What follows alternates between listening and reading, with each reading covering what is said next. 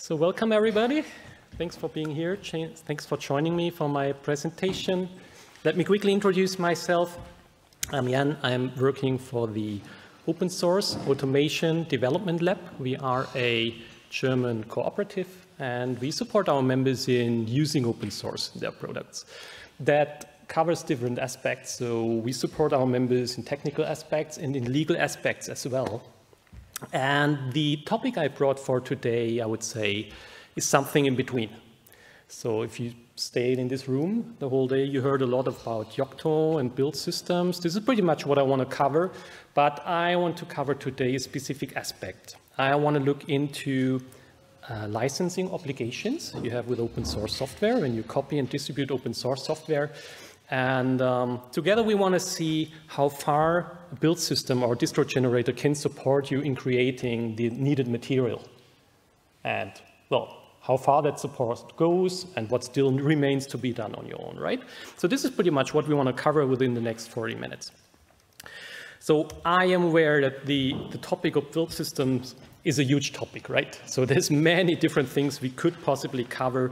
So looking at my personal history, when I started with embedded Linux like a bit more than 20 years ago, um, well, we just built everything from scratch, which is, I mean, it was fun, that's okay. I learned a lot, but today we're in a lucky situation that we don't have to do that anymore, right? So we have some build systems that support us in building our systems. And there's different strategies in doing so. Um, so if you've been to, to Michael's talk before, we've been looking into binary distributions. So when you, when you choose a build system today for your project, you usually have the choice between you build stuff from source or, I mean, you reuse binary packages, for example, from a pre-existing distribution like Debian. And these are basically the, when it comes to license compliance, the two approaches I wanted to, to look into and see how we can put together license compliance material and what could be the right strategies. So I had to pick a choice, right? Um, I mean, for distribution generators, there's PTXDist, Buildroot, Yocto. When you build, for example, Debian-based systems, there's Elbe, Isar, there's Debos, there, there's way more, right? So I had to pick a few choices. So when it comes to building stuff from source, I've been looking extensively into the Yocto project and what you can do. Um, for the distribution builders, I picked Elbe and Isar, but um, I mean, when you look at my finding, it's pretty much, it applies to every other approach as well, when we look into what you need to do on your own and where a build system can support, right? So before we get straight and um, trying to answer the question on how a build system can support us, let's do a very quick recap on what you really need to do when it comes to license compliance, right? And um, I mean, we're all using open source. Um, the great thing about open source, if you just use it, I mean, there's not much you really need to do, right? You can just take it and use it. The fun starts when you start redistributing it, right? Then there's obligations you need to fulfill.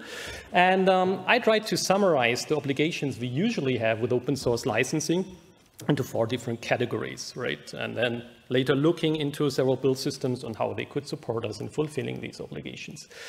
So first of all, and this is the most obvious thing, we always have information obligations. So this is the bare minimum every open source license tells us that we need to provide, that we need to forward the license texts, right? Because we need to inform the recipient of the software what he is allowed to do and what he needs to do when he redistributes. There's a bit more, there's other licenses requesting warranty disclaimers to be provided or even to provide modification notices to clearly define what you have modified in the software or to provide any kind of acknowledgement. So we could summarize that in providing and forwarding information, right? Well, there's licenses like GPL2 that also asks us to disclose source code. So we need to provide the complete and corresponding source code for the software, um, including clearly marking modifications. So it needs to be clear what is the original source code and what has been modified. And people often forget about that fact. We also need to provide build and installation instructions, right? So this is also something we need to do. So this is what we could categorize with disclosure obligations. Third part, maybe getting a bit more complex. There's something we could call licensing obligations. A good example here is like looking into copyleft-based licenses. So that means, um, for example, if you modify the Linux kernel, that creates a derivative work, right? And that derivative work needs to go under the original license. So you always keep the original license, that's what we call copyleft, and this is what we could categorize as a licensing obligation, right? And last but not least, generic category I built here, so everything that did not fit in the other three categories, but there's a bit more you need to do, right? Um, people also often forget that you might need to adjust your company documents. So usually you give precedence to open source licensing terms in your general terms and conditions. Or another great example is uh, looking at the LGPL, uh, which requires us to allow re-engineering of linked software. So the so-called reverse engineering clause. That's sounds a bit scary, but it, it's at the end of the day just contractual work, right? So these are things um, that have to be done when we copy and distribute open source software. Now, um, but how can a build system support here, right? So now if we start thinking about these different categories, it's obvious that providing information is something where a build system can support. Um, disclosing source code and providing build and installation instruction is definitely something where build systems support. Licensing obligations, well, the build system can deliver the information we need, maybe how components interact and under which license they come, but the rest of the work needs to be done on my own. And when it comes to contractual work, well, I don't think there's a way how a build system can support, right? So the, I mean, the important message, and maybe that's the key takeaway from this presentation, please do not forget there's always some manual work left. Um, we, we, often see that people just think, okay, I just take what the build system is generating and I accompany my product with that material and then I'm done. Well, that's part of the job, but there's additional work you always need to do, right? So please do not forget about that. So now, um, since it seems to be obvious that uh, information obligations and disclosure obligations can be heavily supported by the build system, let's see how Yocto and the other approaches can support us here and uh, where we are on that uh, topic. Okay, so um, I think looking at the audience, there's not much need to explain the background of the Yocto project, so I'm going to skip that. Um, let's start with the basics. So this is just from a standard Poky build, building a minimal core image looking at some um, material that is being created with every single build. And this is a good starting point when we look into license compliance, right? Because first of all, we usually want to have a overview of what's inside the build, right? And which licenses are behind. Because this is the material we later need to connect. So there's a few files that are always being generated with a Yocto build, like the image license manifest that's mainly components that are not part of the root file system but might be needed for boot. Then most importantly, license manifest, it's basic license information for all packages, just to give you an idea how that overview looks like. So, I mean, you would get the package name, the version, the recipe that's behind. And most importantly, when we look at license compliance, you see the license under which this component comes, right? So for Linux kernel, is GPL2 only mentioned here, so that at a first glance looks correct, but we'll come back to that in a moment. So, um, last but not least, you also get a list of the packages installed to the image. That is, I mean, not as relevant as having the complete overview of what is coming under which license. Um, now, knowing that there's information we always need to provide, right? We need to see does the build system already support us here? So with Yocto, there's a few settings you could add to your build configuration, to your local conf. So you could say copy license manifest or copy license DIRs, which basically tells to copy the relevant information into the root file system. Um, that's important because we need to forward the license text, right? Um, so having these settings done, the license text will be copied to the root file system. They will be on the product, and probably get, make them accessible for the end user. So that is already uh, a very good basis in providing information uh, that, you, that you need to provide, right? But as always, um, starting with the basis, whenever we provide information or when we include information, we usually should ask ourselves, where does this information come from? Is it correct? And most importantly, when it comes to license compliance, is it complete, right? So looking into the information from the license manifest, I mean, that's quite easy to get, right? Um, this is some information this is, which is maintained in the recipe of that specific package. So we just fetch the license from there. This is, ends up in the license manifest. That's basically it. So um, question is, is this enough? Let's think about that. So we're talking about the Linux kernel. GPL2 sounds correct, but wait a second. There was something like a syscall exception. Maybe we want to mention that right here. So maybe a small gap. So we might want to look at this specific kernel version and scan it for license information and look at the results to see is this information complete or might we be missing anything. So I did so. Um, I, I, did uh, a scan code run um, on, on 6635, just looking uh, into how many unique license expressions I could find in that kernel version. So want to make any guess? One, two, three, four, ten? 700. Ah, it's actually less. it's way better than that. Um, it's just 100. Uh, 102. So don't be scared that is unique license expressions that could be GPL2 with syscall expression or GPL2 or later. It's just um, 100 unique expressions, so it's usually GPL and variants. Uh, everything is compatible. Kernel is in very good shape, but there's also, I mean, mostly the historical stuff in the kernel might come under other licenses. So all everything new usually has a SPDX license, identifiers clearly licensed under GPL2.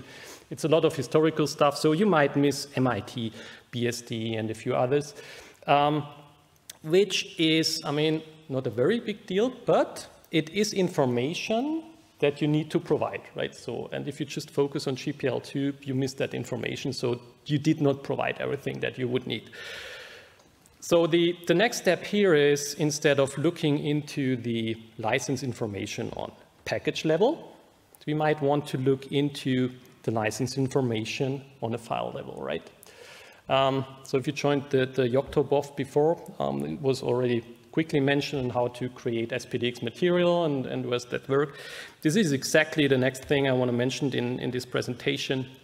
So there's already a lot of great work being done in creating bill of materials with a, with a Yocto build. This, I mean, I cannot cover everything in this presentation. We'll pretty much focus on the licensing information. So um, Open Embedded brings a class which is called Create SPDX. So if you just do a, a build on a recent Poky version, this should be inherited by default, so nothing for you to do. Um, if you're coming from an industrial background, sometimes you're caught with older versions, right? Sometimes. Um, in that case, you just need to inherit the create SPDX class to, to ask uh, a bill of material uh, being, being created for the build on a file level. So there's a, there's a few settings here. I just want to quickly cover these. You can also tell a bit on how that material is being created. Um, I would highly recommend to, to set SPDX pretty because otherwise everything will be printed in one line, which is okay if you want to have a machine or a tool read that, but if a human being should read that, so you might have it, might want to have it properly formatted. You can also ask for several stuff to be included, like a description of the source files used to build the host tools and stuff. You could ask uh, the sources of the packages being installed to be archived and also the binaries. This, I mean, looking into disclosure obligations, there's a few additional features. For now, I would like to quickly focus on the information obligations and, and drive that thought a bit further, right? So we have the possibility to create file-based licensing information with the bill of material. And um, we get, I mean, we get that on certain levels. So there's a certain hierarchy, like some files describing the image and the components that are inside the image. What I'm interested right now is to look into how are the packages being described. So what information is recorded for all the packages that go into the root file system, right? And I picked uh, BusyBox just as a random example here. So this is uh, would be some SPDX material that has been created from that build. So first of all, this is the overall package information. So we know which, what is the package. We get a um, we get a checksum on the on the tarball, and we know what is the overall licensing. So this is definitely the information we had so far. But what we wanted to have is to look into the license information on a file level, right? So let's just pick a random file and see what information we got from that build, right? Um, so you see, actually we get the file information, but if we have a closer look um, for copyright texts, for example, or license information, we see no assertion, which means that we did not catch anything for that. Uh, the reason here is, is I mean, the, the class is really looking into the files, but uh, there's certain information this class is looking for. So mostly at the moment, it's just looking into uh, if there's any statements with a SPDX license identifier, right? So if a SPDX license identifier would be stated, this would be caught. Otherwise, we would miss it. So if there's anyone in the room who has been dealing with license compliance before, you know that um, human creativity is basically endless, right? So, and there are endless ways in stating license information in open source packages. Uh, luckily enough, nowadays we have standards like SPDX license identifiers. For example, the Linux kernel is very, doing a very good job there. But um, for, I mean, projects that are very long on the market, we still have many files that have the license text or link or anything else included, right? So we need to catch that information as well. And well, we, we didn't catch it so far. So if we really want to go to the level that we want to have to catch all licenses, we need to think how we can um, catch that. And I think there, there, was a question coming up in the uh, BOF before, like can I use scan code or Fossology or anything else in that, in that process? And this is actually something I was looking into. Uh, is there something out there that helps me to integrate this uh, into a Yocto build?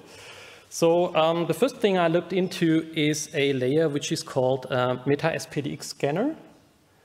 It's around for quite a few years. So the main intention is basically to provide classes to integrate common open source licensing scanners to a Yocto build, right? Um, there's a few integrations. There's even a Black Duck integration. So I focused on the open source tools.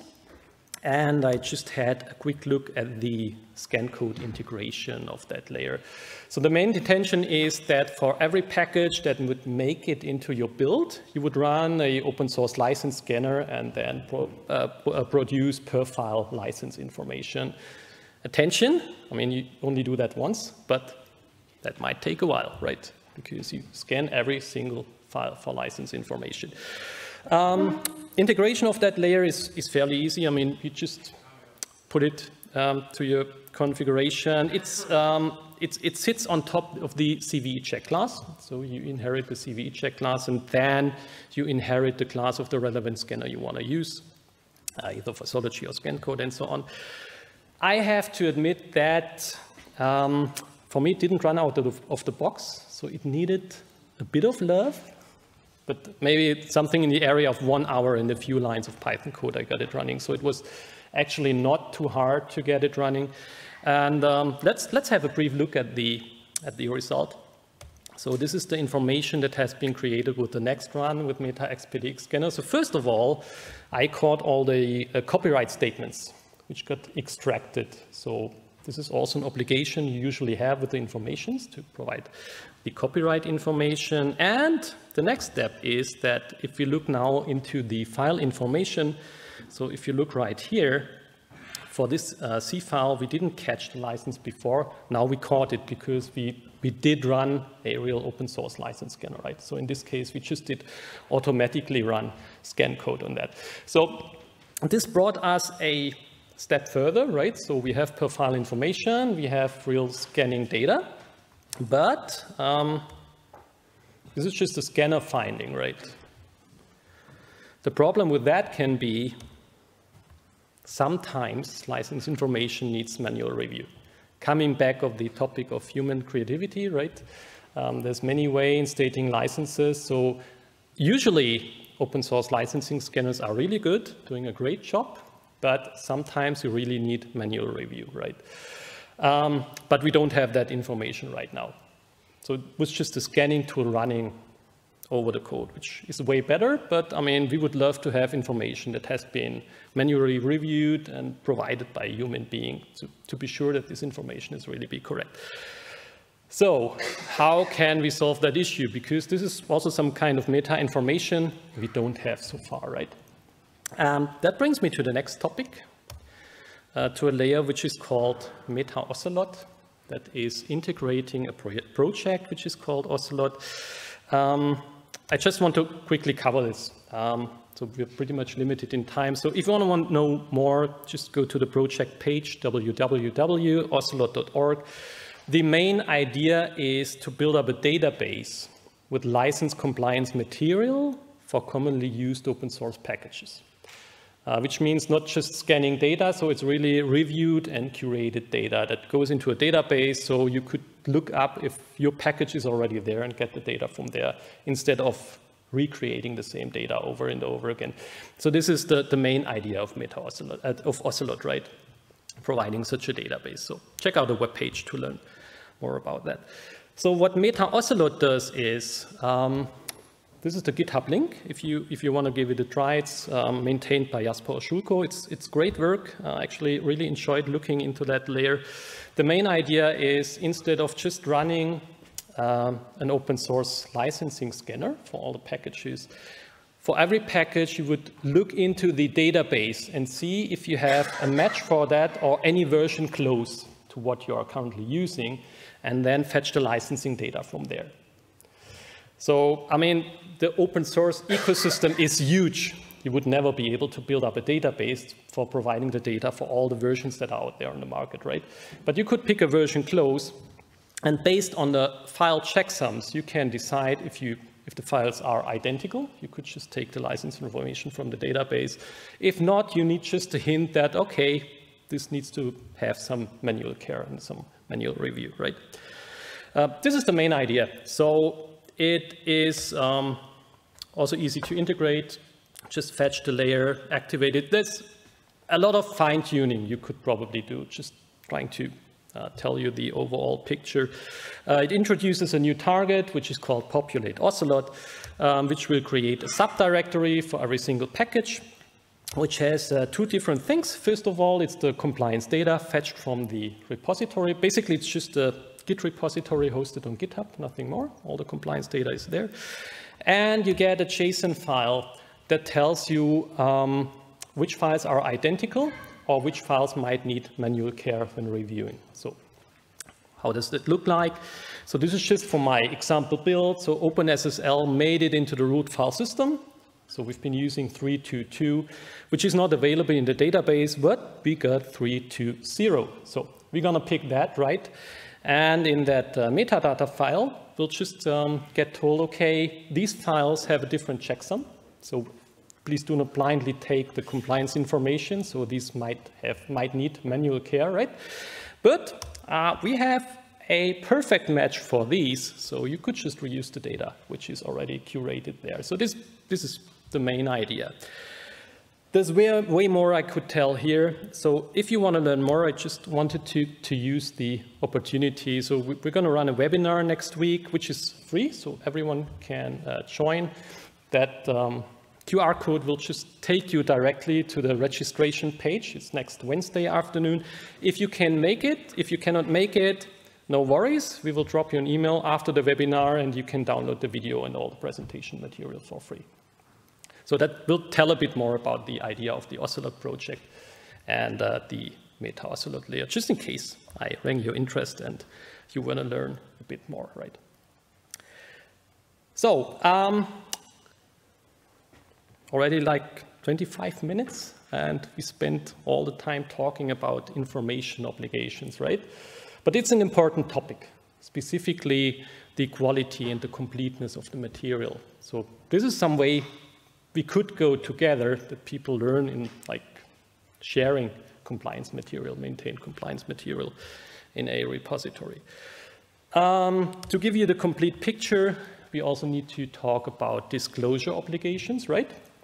This, um, if you're look, looking into the Yocto project, there's several ways. There's also an archiver that could archive the original source code for you.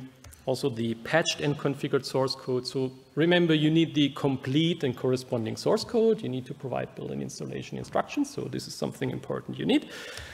And um, you could also just uh, choose to get the patch source code. So to summarize it, the, the support you get for um, disclosure obligation is pretty complete, right? So the, the, gap you usually have is when it comes to information, fulfilling information obligations, right? So this is pretty much the, the picture here. So I promised you, we've got like 15 minutes left. I also promised you to look into other approaches as well, right? So now this is a bit the Yocto project part, but how does the situation look like if you look into reusing a pre-existing Linux distribution like Debian? So for that purpose, I also did a couple of example builds with uh, Elbe.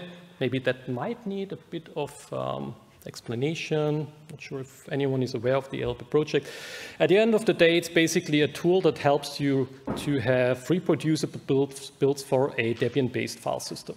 Um, you have your target root file system described in an XML file, and you get a reproducible build, and everything is based on the packages that can come from a Debian repository. That's pretty much it.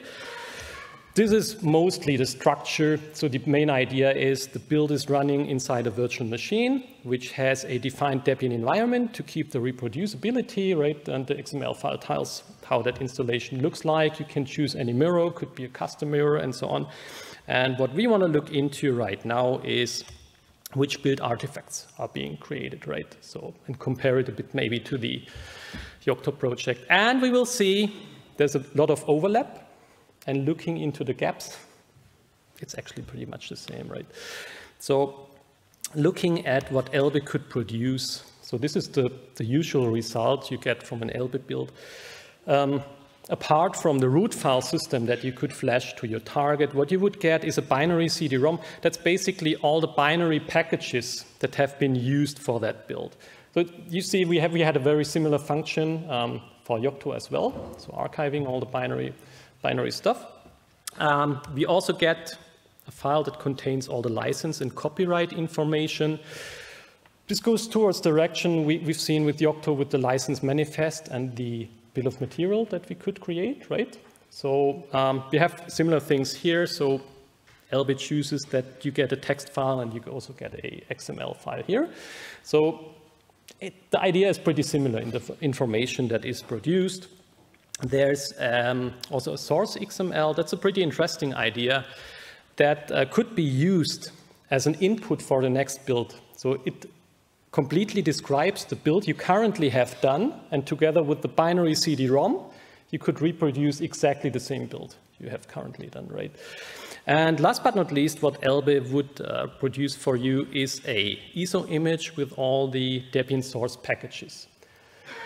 So looking at that information, we already have covered a lot, right? So looking at the information obligations, we see that this is targeted with this information right here, and the disclosure obligation is targeted with providing the Debian source packages. They have the original source code, they have the packages, and they have clear build instructions.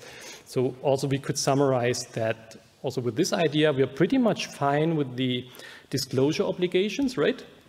But we need to think once again, how complete is the information like the license text and the copyright information. So also here we need to ask the question, where does the information come from? This is just an example uh, from, a, from a random Elbe build, like looking into the license file that is being generated. So um, at the end of the day, this information routes us back to the source package, right?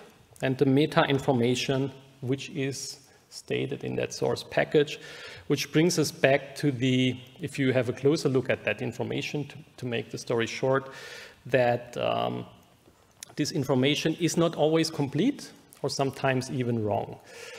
It is, if we, if we compare it to what we learned about the Yocto project, it's once again that we have the information, but not everything, right? It's, it's pretty much the same gap we have here.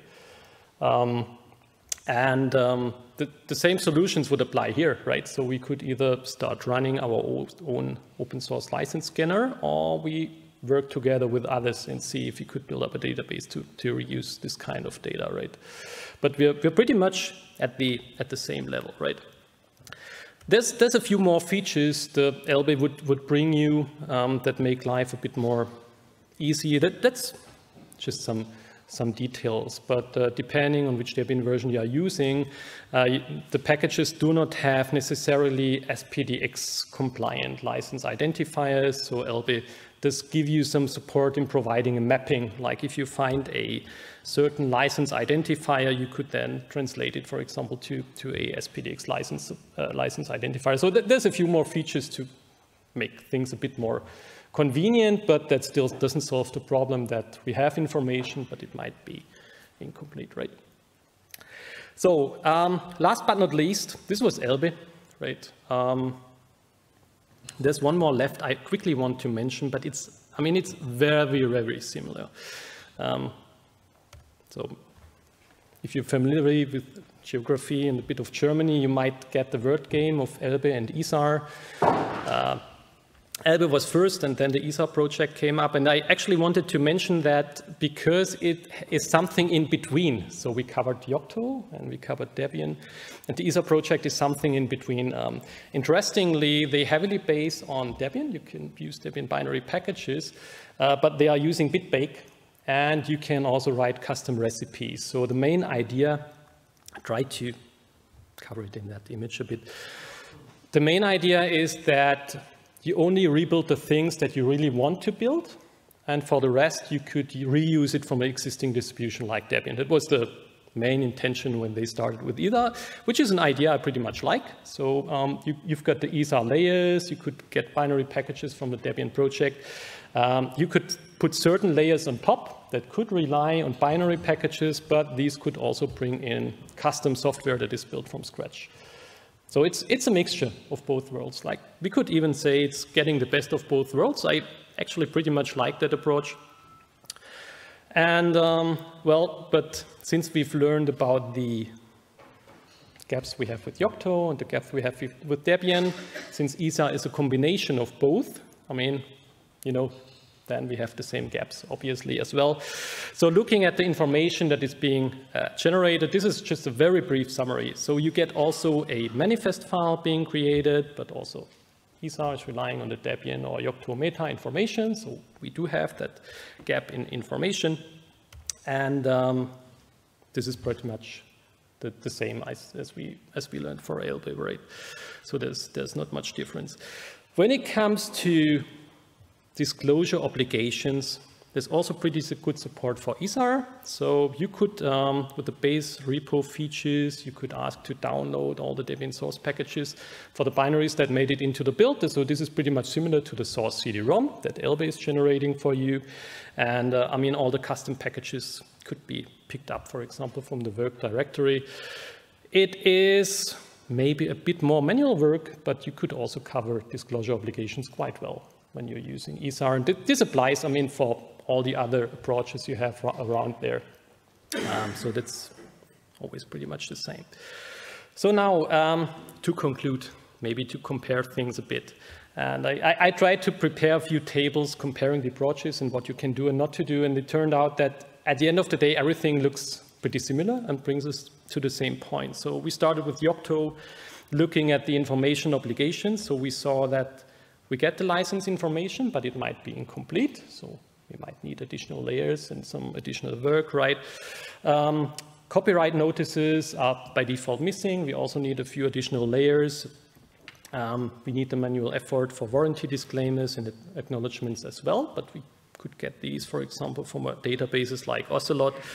When it comes to disclosure obligations like modification notices, build instructions, patches, this is where we have a very good state, right?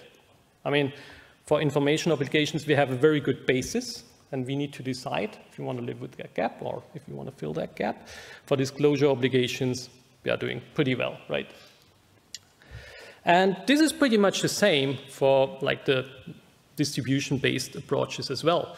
Um, we've seen that license and copyright information was not complete, so we need to fill that gap, right? But when it came to disclosure obligations, we had everything we needed, right? So this was the case for Elbe. Um, it looked slightly different when looking um, at Isar, but at the end of the day, we had the same state for license and copyright information, but when it comes to fulfilling disclosure obligations, things look uh, quite well also here. So that, I know this was quite a lot for 40 minutes, right? So there's a few things I want to conclude and I want to I want to summarize here. First of all, build systems can always support us uh, with fulfilling license obligations, and it is highly recommended to use that support, right? Please do not forget, apart from the gaps I've mentioned here, there is always manual work you need to invest. So, I mean, we, together we need to work on that build systems can do more, so we reduce the manual effort, right? But there is always something you need to invest. There's no chance at all, right? So please have that in mind. Developers should be aware, and specifically your management should be aware that there is this effort you need, right? I mean, it's, at, it's a matter of copyright law at the end of the day, right? Um, to summarize the gaps we have looked into, we've learned that distro generators, they offer very strong support in fulfilling disclosure obligations. That's like in the pure nature on how the systems are being built, right? Um, we have a good or solid basis when it comes to fulfilling obli uh, information obligations, but we've identified some gaps, right? So there might be missing licenses, there might be missing copyright information. Um, so at the end of the day, someone needs to look at the source code, scan it, and provide that information. Now, another key message today for this presentation is we should all think if it wouldn't be a good idea to share this kind of efforts as well, right? So we're working a lot together with open source, with the technical aspects, but fulfilling license obligations is something we all need to do as well, right? It doesn't make any sense at all that we all do the same reviews over and over again. So I think it's time to learn that we improve the situation, that we share compliance information, um, and also push back that information to the projects, right? Also improve, if you have any finding when reviewing, let the projects know how they could do a better job in providing license information. Um, one example is the OSSelot project that offers an umbrella to share that information. So if you want to learn more about that, just let me know. Uh, there might be other ways, but I think it would be great if we work more together when it comes to open source licensing. So that uh, pretty much concludes my presentation. Uh, thank you so much for joining. I'll be around for the rest of the week. So if you have any further questions, feel free to reach out to me at any time. And looking at the time, um, I think we still have time to answer some questions right now. So first of all, thank you.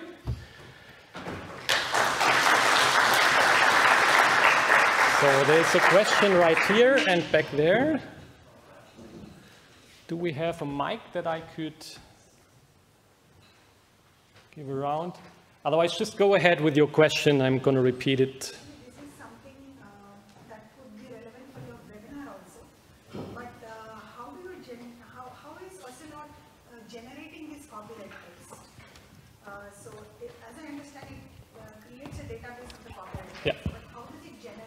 Okay.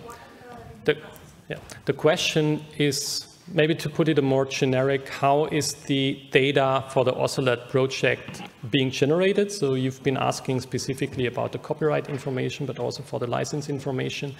So it's a manual review process. Um, so the, the people currently working on that are mostly using Fossology and manual review. That means using uh, the scanners that are available in Fossology, so it's Monk, Nomos, and Ojo, and in the additional, the scan code integration, and then manually going over the data and, and um, putting, putting it there. So it, at the end of the day, answer is, it is manual effort, and this is the pure idea of the project that we could share this manual effort because each and anyone is using the same open source packages and every company is doing this effort over and over again.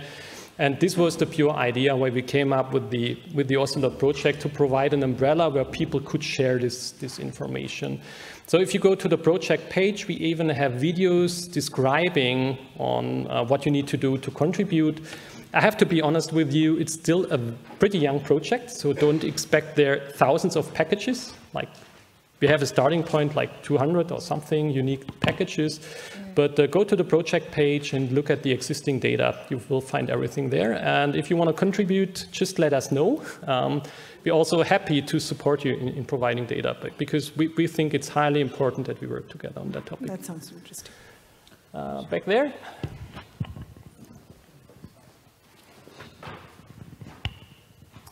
Hi, uh, Denver Gingerich from uh, Software Freedom Conservancy. I was wondering when you mentioned um, some of the manual uh, necessary work um, toward the end, if you were talking about um, some of the things you mentioned earlier, which were um, installation instructions, is that the yeah. sort of manual um, work you're talking about?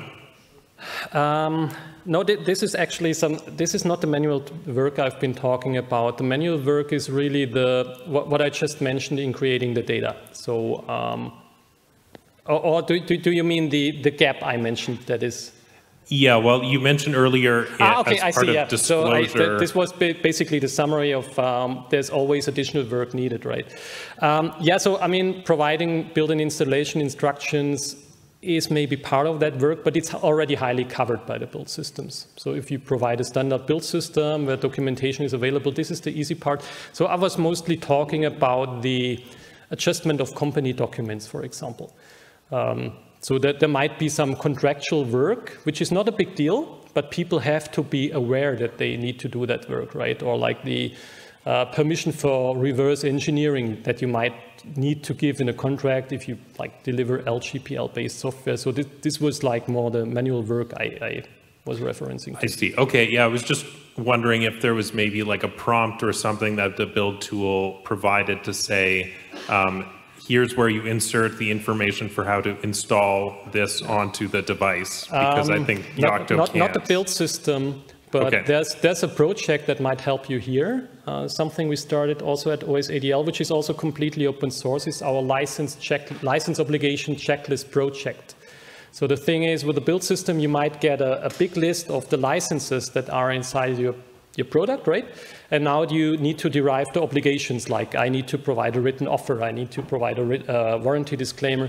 This is what we do with the license obligation checklist. So it's basically translating um, common open source licenses into a canonical language, um, like you must, uh, you must forward, you must provide, and so on. And we even offer a graphical tool where you could um, basically click your use case, like I'm doing a binary delivery, I'm deciding to um, to do a delayed source code delivery. And then you get a list of what you need to do. And we even provide text templates on how a written offer could look like or how you need to, to adjust your company documents. So it's not the build system, but um, this is where you should look at our checklist project. Great, thanks.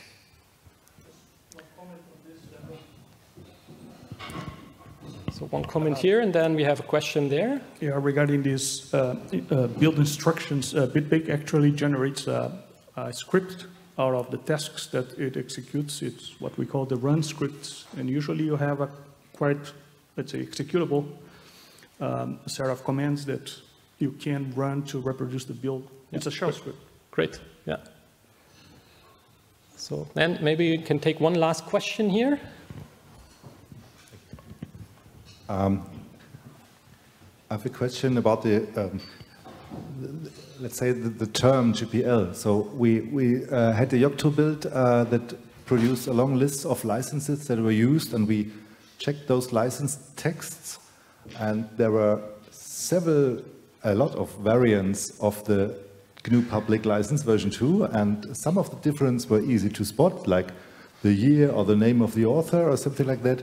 Of course, white spaces, but actually there were difference like inserted words, like not, yeah, so GPL or GNU public license is probably not a protected trademark, so you can call any license GNU public license. How to deal with that? Is that just with the SPDX identifier, or how do you rely on that? Yeah, so I mean, from the from the user's perspective, this is the hardest part. From I mean, if you want to state the license, the easy answer would be just to use a standard like SPDX license identifier, so it's clearly clearly marked what you want to do.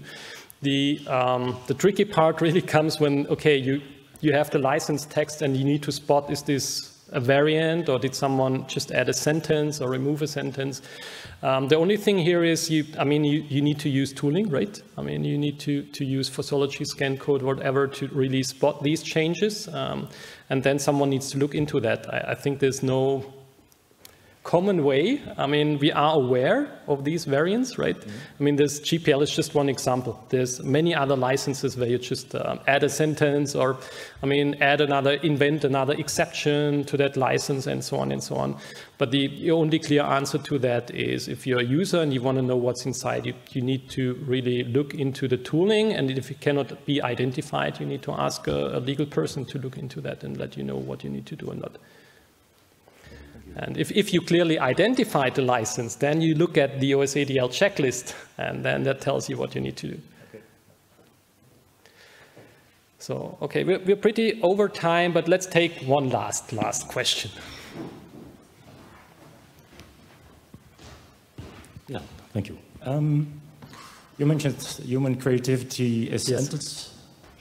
Um, that would ask for a standard Yes. As there is, the, the SPDX. Um, is there also a process at the moment already ongoing that uh, package providers need to conform uh, this standard? Because manual uh, work is not something we look forward to, especially law concerning stuff. We like to be occupied with technology. Um, and um, also uh, companies like uh, GitHub is there, maybe you know, about um, a process or the initiative to uh, force uh, software makers and PACS providers to yeah, the, um, I mean, the, only can uh, publish on GitHub if they conform this time. I mean, there's, there's, a, there's quite a few initiatives that look into um, the, the compliance process for open source projects. Um, luckily enough, we have standards on the market. That's the first thing. But I mean, what you want to tell is that people should be aware that these standards are there and someone needs to push it right.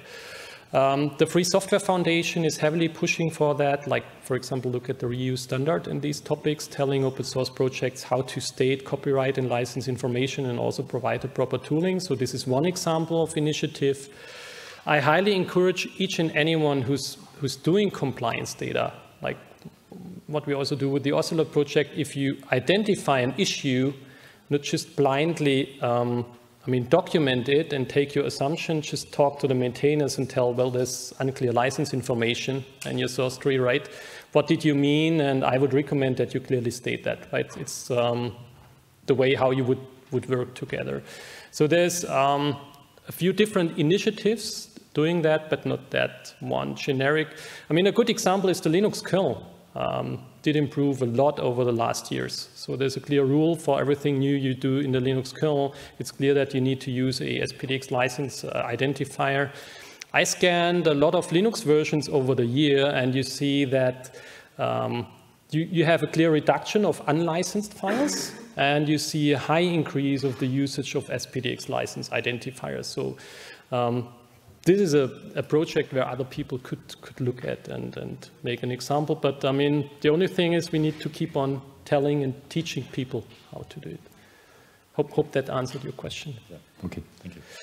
Okay, so I think we're really over time. Uh, thank you again so much. And once again, I'll be around for the rest of the week. So if you have any further questions, feel free to reach out. So, thank you.